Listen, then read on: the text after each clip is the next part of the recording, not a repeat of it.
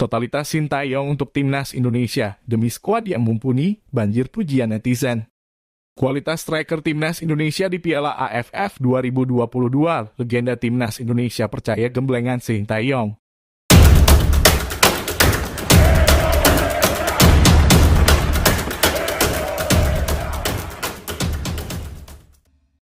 Untuk pecinta timnas Indonesia subscribe dulu sebelum lanjut. Pelatih timnas Indonesia. Sintayong disanjung oleh netizen karena totalitasnya mengusahakan Elkan Bagbot dan Sandy Walsh bisa tampil di Piala AFF 2022. Sintayong punya jadwal sibuk saat menggembleng timnas Indonesia U20 di Eropa. Di tengah kesibukannya, pelatih asal Korea Selatan masih punya waktu untuk tujuan mulia lainnya. Asalnya Sintayong sempat terbang ke Inggris dan Belgia.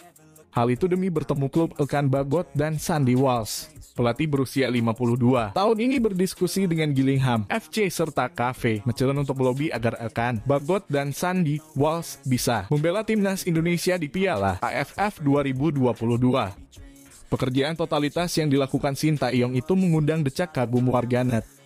Di postingan terbarunya banyak netizen yang membanjirinya dengan pujian. Adapun Akan Bagbot dan Sandi Walsh memang masuk dalam 28 daftar pemain untuk mengikuti TC Timnas Indonesia jelang Piala AFF 2022.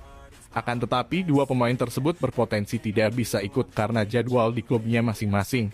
Maka dari itu, Sintayong tampak jemput bola untuk melobi Gillingham FC serta Cafe Mechelen agar dua pemain tersebut masuk ke skuad Garuda. Tentunya kita semua berharap dan mendoakan agar upaya yang dilakukan Sintayong bisa membuahkan hasil. Pekan Bagot dan Sandy Walsh bisa memperkuat timnas Indonesia di Piala AFF 2022. Memang sangat luar biasa totalitas Sintayong untuk timnas Indonesia. Kinerja Sintayong selama ini sangat memuaskan. Dia rela bersafari ke klub-klub di Eropa demi skuad Garuda di Piala AFF 2022. Nah, bagaimana tanggapan kalian semua timnas lovers?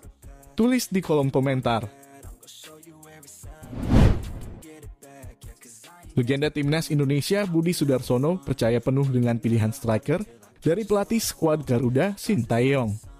Dalam 28 nama yang dipanggil ke timnas Indonesia untuk persiapan Piala AFF 2022, empat di antaranya berposisi sebagai penyerang.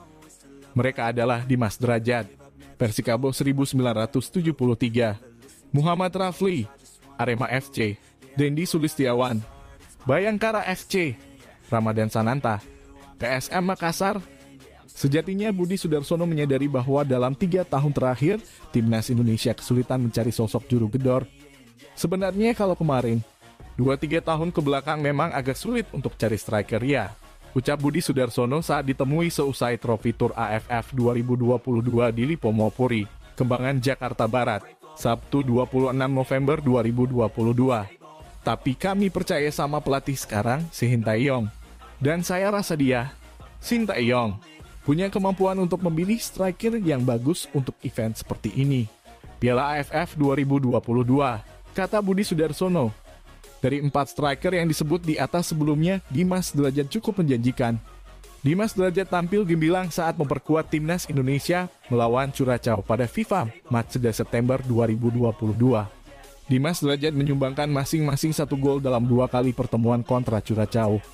Laga pertama berakhir dengan kemenangan 3-2 timnas Indonesia atas Curacao. Pertandingan kedua timnas Indonesia juga sukses membungkam Curacao dengan skor 2-1. Budi Sudarsono mengisyaratkan bahwa Dimas Derajat merupakan ujung tombak yang bisa menjadi tumpuan timnas Indonesia.